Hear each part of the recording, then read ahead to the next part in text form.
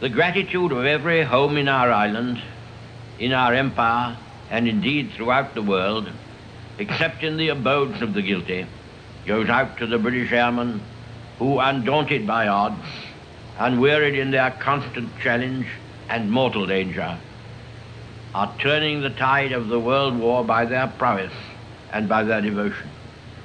Never in the field of human conflict was so much owed by so many to so few. All our hearts go out to the fighter pilots whose brilliant actions we see with our own eyes day after day. I hope, indeed I pray, that we shall not be found unworthy of our victory if after toil and tribulation it is granted to us. For the rest, we have to gain the victory. That is our task.